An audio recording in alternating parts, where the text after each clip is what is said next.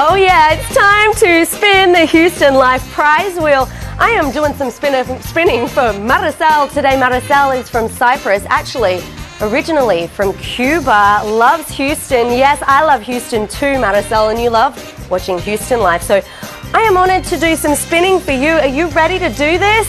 Marisel has never won a raffle, but today you are going to win something awesome check this out. Where is it going to land? We've got a bunch of cool prizes on here. And, oh, oh, oh, Marisel, this is awesome. You have won something from Shrunk in downtown Houston.